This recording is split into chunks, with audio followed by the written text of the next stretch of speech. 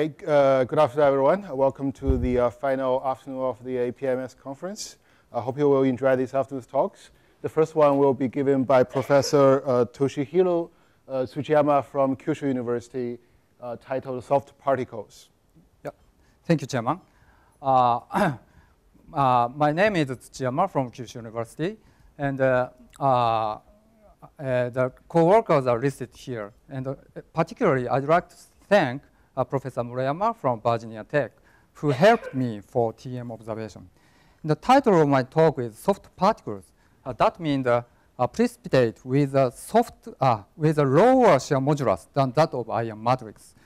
So uh, I'd like to talk about the plastic deformation and mechanical dissolution or strain dissolution of copper precipitates in steel because it may improve the deformability of high-strength steel sheet.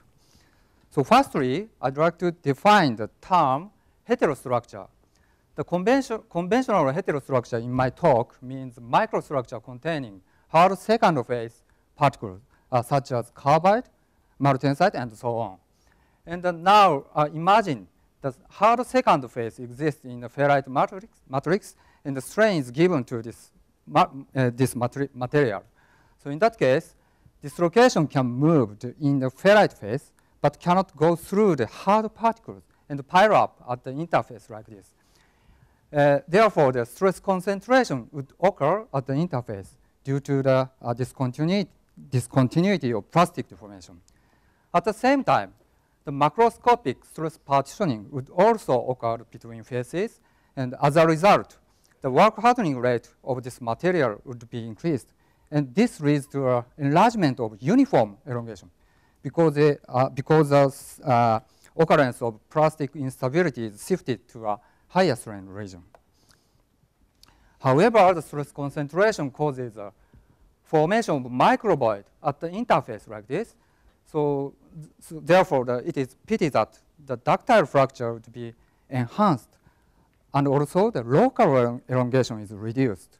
Uh, when the, we use the uh, heteros, uh, conventional heterostructure. So uh, let me explain about the uh, mechanical properties of commercial steel sheets. The upper figure shows the relation between tensile strength and elongation, and the lower one is uh, that between strength and hole expanding ratio. As you know, hole expansion is one of the important deformation mode in press forming process and that is known uh, to uh, correspond to a local elongation. So now uh, look at the property of TRIP steel and DP steel, which are the typical uh, heterostructured materials containing hard martensite phase. The elongation of these materials uh, is uh, very high compared with other steel sheets, which is due to the large uniform elongation. But the uh, hole expanding ratio of the steel is very low. It may, uh, due to the poor local elongation uh, derived from the uh, stress concentration at the hard uh, second phase. On the other hand, homostructured material, such as magnetic single structured material, has a relatively low elongation, but the hole expanding ratio of this steel is very high. So this result indicates that the uh, elongation and the hole expanding ratio is in a trade-off relationship, just like uh, strength and elongation. So, but we want to improve both properties at the same time. Uh, it is difficult, but I think it's realizable by using uh, uh, fine soft particles such as copper precipitates. So as you know, the precipitation of copper causes uh, precipitation hardening of steels. Uh, this means uh, uh, copper particles strongly interact with dislocation and prevent the uh, dislocation movement in the iron matrix. Uh, so, so this situation is similar to this situation is similar to the case of conventional heterostructure in this case. But this case is in, uh, the case of the, in the early stage of deformation. However, in the highly strained region, copper particle is plastically deformed and elongated like this. So it is guessed that the uh, plastic deformation of copper particle itself uh, leads to a relaxation of stress concentration at the uh, interface, and also uh, the significant morphological change and uh, sometimes dissolution may lead to a disappearance of strengthening effect by copper. So this is similar to the case of homostructure. So by such a structural change of copper dispersion stir, a so-called hetero to homostructural transition, the microvoid formation would be uh, suppressed or retarded, and we can expect that both uh, uniform and local elongation would be ensured, and we can obtain a high strength steel with uh, excellent deformability. This is my story, my uh, adventure story. Okay. And uh, there is there are some uh, experimental evi evidence for my idea. So this is a strength elongation balance in copper bearing low carbon steel, which was uh, reported in Japanese national project called Nanometal Technology Project. As you can see, the uh, mechanical properties of copper bearing martensitic steel, shown by the red circles, have a, a, a better strength elongation balance compared with the copper-free low-carbon martensitic steel. In addition, the uh, dispersion ferritic steel, uh, stress, stress strain curve of copper dispersion ferritic steel, this one, is characterized by a large local elongation and uh, reduction of area compared with the hard carbide dispersion steel uh, like this. So from this result, from these results, I thought that the uh, precipitation of copper is effective for not only strengthening, but also uh, maintaining the ductility, ductility, uh, uh, ductility uh, especially local elongation. So in order to demonstrate my idea, we set several targets like this. And the final purpose of this study is uh, to establish a design principle of soft particle dispersion steel. But in, today, I'd like to focus on the first one, that is to obtain direct evidence of mechanical dissolution of uh, copper particles during plastic deformation. And I, uh, also, I'd like to uh, mention about the dissolution mechanism uh, a little bit. So let me explain about the uh, detail of specimens. We used, uh, mainly use the iron 2% copper ferritic steel. So in addition, so as a hard carbide dispersion steels, we use the VC steel. That is a iron 0.2% carbon, 0.9% vanadium. And the chemical, uh, this, uh, the chemical composition of these steels were controlled to form the same amount of precipitates. Uh, that means 1.4 volume percent of epsilon copper and the VC carbide should be precipitated in these uh, materials respectively. And the copper steel was subjected to simple solution and aging treatment. And aging temperature was set at 873 Kelvin. And the VC steel was uh, firstly uh, subjected to quench and tempering to disperse the VC carbide, within the martensite matrix. And then the uh, specimen was reheated to a austenite uh, plus carbide region followed by furnace cooling to cause a diffusional ferritic transformation. So uh, during the aging treatment, the hardness and the structure of copper particle is changed like this. So the copper is firstly precipitated as a BCC structured particles, but it uh, transformed to 9R, 3R, and finally stable FCC structure are called epsilon copper. So from the uh, industrial point of view, the peak-aged material is the most important. But uh, in this study, we used uh, over-aged uh, material. Uh, we used over-aged specimen because of the, its simple phenomena uh, without uh, deformation-induced transformation and ease of uh, observation. So by using TM, uh, we could observe the dispersed particles. So this one is a copper, epsilon copper particles, and this one is VC carbide particles. As you can see, they have similar morphology, size, and the size distribution like this. And the mean particle size of the copper particle is 35 nanometers, and uh, that of VC steel was 37 nanometer, almost similar. So for these specimens, cold rolling was performed. So this is a change in hardness with cold rolling as a function of equivalent strain like this. And uh, the result of IF steel is also uh, uh, shown uh, for reference. So we can see that the, uh, the hardness of copper steel and VC steel is higher than the IF steel uh, due to the dispersion strengthening by copper, epsilon copper and VC carbide.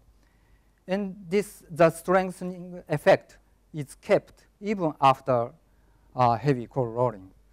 So here, to, uh, to clarify the effect of dispersed particles only, the hardness was replotted as a function of the square root of dislocation density.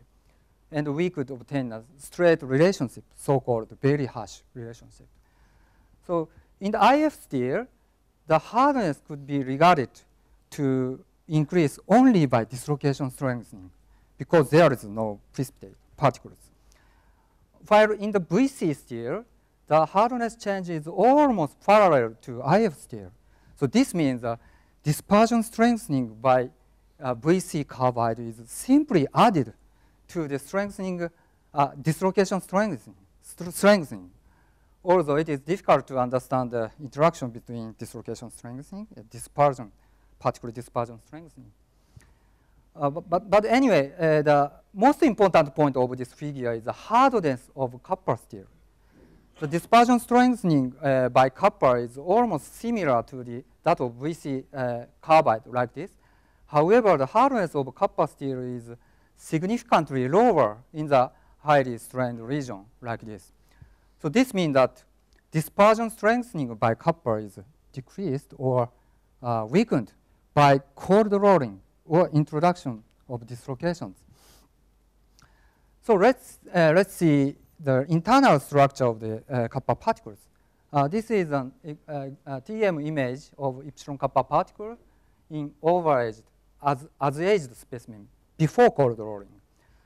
So although uh, small amount of metastable 9R structure was also observed, but almost all particles were uh, FCC structure, uh, FCC uh, epsilon copper particles like this. So after cold rolling, we could observe many kinds of, various kinds of deformation structure. This is an example of 5% cold rolled, cold rolled specimen. So as you can see, there are many thin deformation twins are formed within the copper particles. And also, the interface of particle is irregularly varied, like this. So this uh, observation result indicates that the copper particle itself caused plastic deformation by 5% cold rolling. And after 70% cold rolling, the morphology of copper particle is completely changed and elongated to the rolling direction like this. But uh, uh, it is interesting that the aspect ratio of the copper particle was not constant.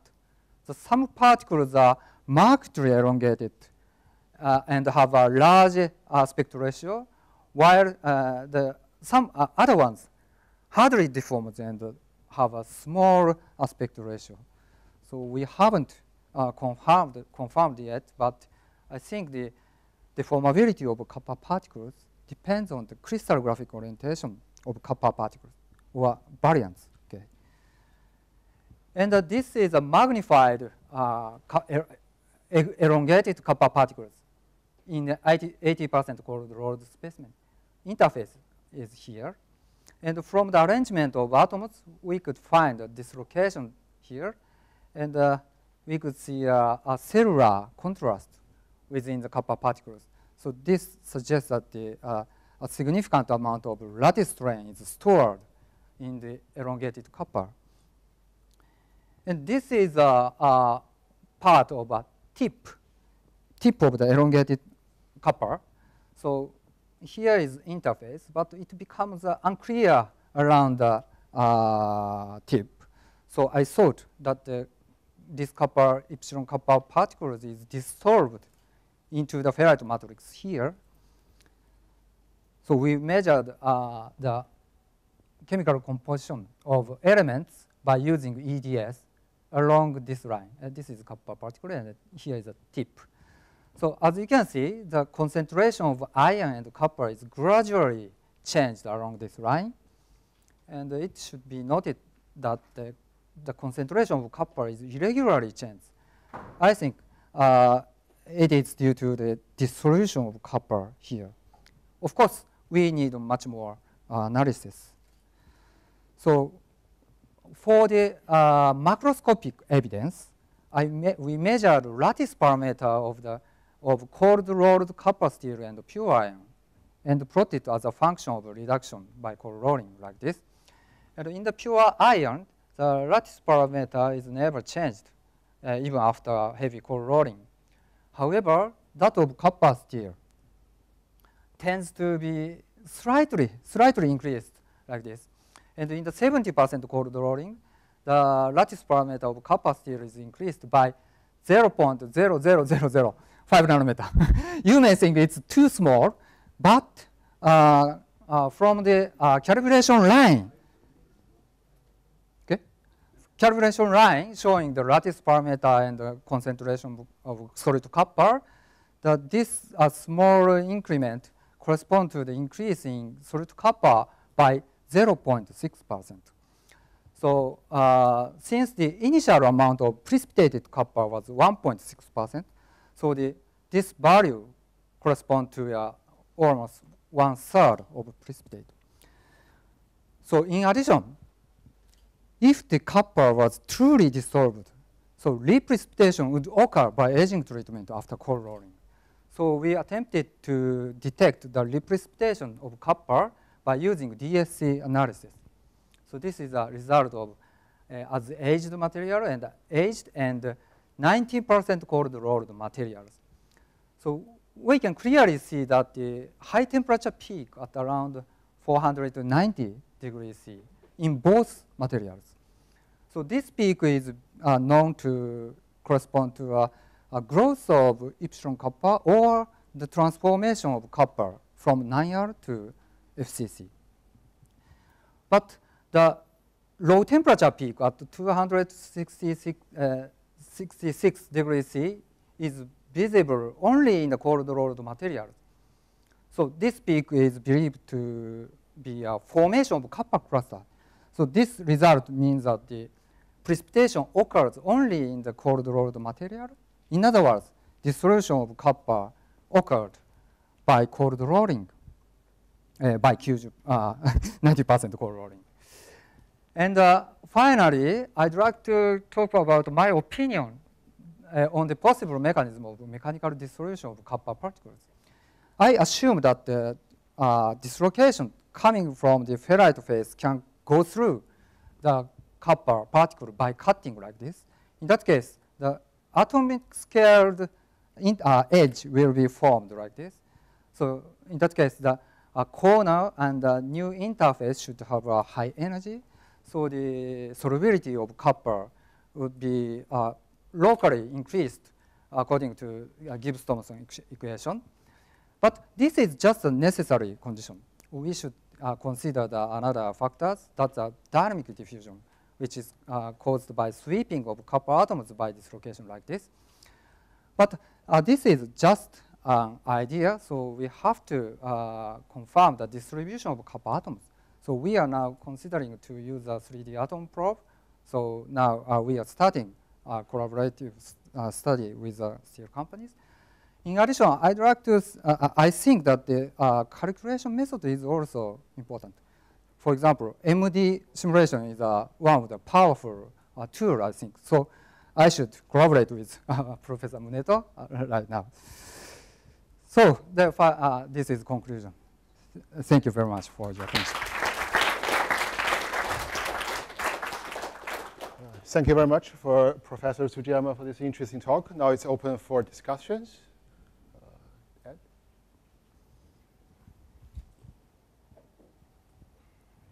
Thank you very much. Interesting talk. Um, regarding your high resolution images in the undeformed uh, material, why don't you observe a sharp interface? Uh, interface structure. Yeah, you, you mentioned that it's blur interface? Ah, I- I said uh, irregularly. Yeah. Ah, yeah, yeah. I, I think that's a point we should uh, observe. But uh, uh, so far, I I'm not confirmed uh, uh, detailed structure. What is the the subject. thickness of your sample? The thickness of your uh, Thickness. yeah of your sample. Uh, the T- TM sample. Yeah. Sorry, I, I'm sorry that this observation was car- uh, done by the Professor Murayama in Virginia. So I, I'm sorry that the Yeah, detailed Yes, yes. experiments. Okay, So, thanks. sorry. Question at the back. I've just a comment to your um, properly mechanism of the mechanical dissolution. Yes. Actually, this is what happens in maraging steel und, uh, under fatigue assessment. Uh-huh. You have a you have a dissolution due to the crossing of the uh, um, dislocations um, several times. Yeah, Uh-huh. so I, In the Maru hope- steel. I hope you will see it here too. Okay, thank you very much. So of course there are many, uh, some uh, reports on the dissolution of particles, especially in the aluminum alloys. So we checked some papers, but I don't know, that paper, so please ask. Huh? Sorry? I'm sorry, this is not published. Ah, not published. okay. Any other questions? Uh, Can I know, uh, do you deform your specimen by rolling or by? Yes. by- by- By rolling? hmm Okay. So, uh, in fact, i- we reduce the thickness. So, uh, we, we, we, un- we should consider the, the, uh, the form of deformation. So, um, usually the surface will become uh, elongated. It's, it's, it's, it's, it's quite normal case for the surface, but al- als- al- also we should consider the interface uh, effect. Mhm. And uh, I just wonder if you study the nano-sized particle Mhm. uh, in your in your experiment, uh, can you still get the elongated shape of the particle? Uh, sorry, sorry. Uh, because your your soft particle Ah. originally is spherical. spherical, right, okay. like, and they elongated? And after deformation, it become elongated. yes, Yeah. yes. So uh, I just wonder if you uh, use a small size particle, narrow size particle. Ah, nano-sized particle. yeah. Uh, of course, uh, nanoparticles. Uh, in, in, in this study, we use the over-aged specimen or over-aged particles. But in the case of peak-aged material, so the copper size was nano-size, maybe 10 nanometers or less. So I'm interested in the uh, deformation structure of the peak-aged material. So we are now uh, starting the uh, investigation of the peak-aged material. But I confirmed that the work softening occurs in the case of peak-aged material. This means the dissolution occurs in the also in the nanostructure, uh, nanoparticles. Okay. Uh, Okay. In, in this case, we will consider the coherent boundary and Coherent non-coherent boundary. Mhm. So uh, I just wonder whether the, uh, the deformation mode are different or not for these two cases. okay. Uh, in the case of copper, the uh, nanostructured particles has a BCC structure. Because you have a different chemical composition for the Yes, yes. size and big Chemical size. composition and uh, structure is both different in the case of the peak-aged materials. So in the case of BCC structure, the three planes are uh, continuous. So I think the cutting is easily occur and the dissolution would be occurred easily, I think. Okay. Uh, any other questions? Okay.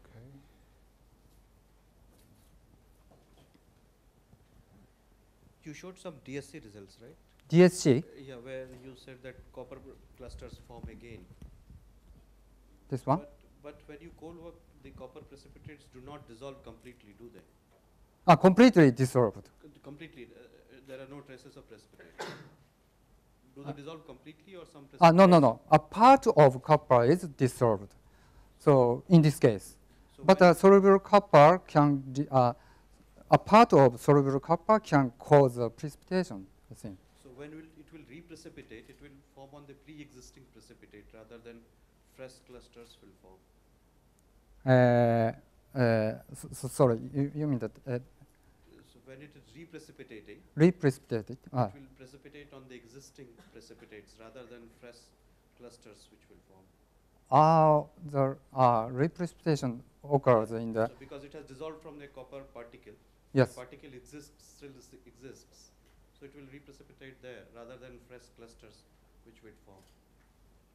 Uh, sorry, I, I can understand you. Uh, no, s- re, uh, dissolved copper reprecipitation on the aging treatment after cold rolling. So you, you mean the effect of, uh, uh, of copper on the stress strain curve? Thi- this So when I s- I'm saying that when it will reprecipitate at reprecipitate, pre- yeah, yeah. it will form on the pre-existing copper precipitate particles rather than fresh clusters. Ah, rather than clusters. He's, he's asking whether the, when the reprecipitate, will that precipitate to the existing, Ah, okay, existing okay. ones and or not to form new clusters? Ah, okay, okay. Uh, the site of precipitation site, site of uh, cluster. Uh, I, I, I have not uh, checked the nucleation site, but I guess the, uh, there are many dislocation or uh, lattice defect in the ferrite matrix. So I think that the crus- uh, cluster will be formed at the, uh, that dislocation, not on the undissolved copper particles. Okay.